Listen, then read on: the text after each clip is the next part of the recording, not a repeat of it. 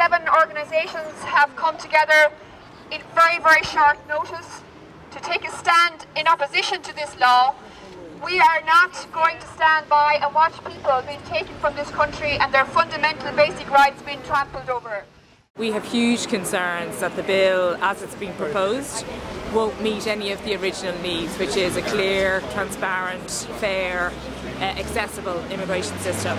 But in addition to that, we have two major concerns. One is that there is a provision that people can be forcibly removed from the state um, if they're perceived to not have permission to be here. Today uh, we're here at the Dáil um, to protest the government's immigration, uh, new immigration bill because we feel that uh, the, the element which is about summary deportations, that is that a person could be removed without any notice or any opportunity to prepare financially um, or emotionally to leave the state, is fundamentally wrong.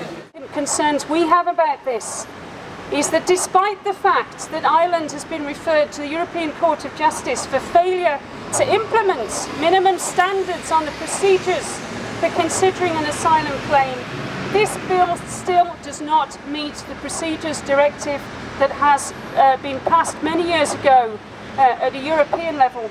And even if it comes up to that minimum standard, that procedures directive has already been in the process of being altered in order to raise the standards again. There's a lot going wrong in Ireland at the moment, but one of the best things that's happened to this country in the last 10-15 years has been immigration.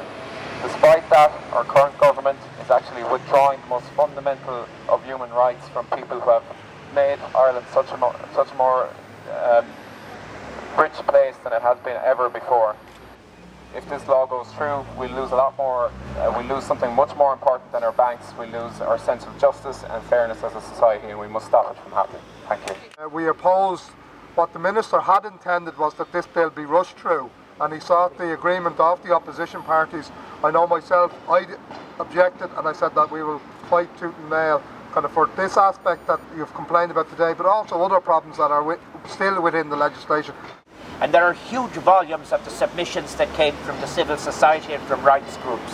And the idea that you would throw all of that away and simply bring in something that does not respect fundamental principles of international law, national law, or any form of jurisprudence is simply unacceptable. Economic circumstances must never ever be something that in fact curtails the demand and the vindication of fundamental rights. I'm very happy to have been here.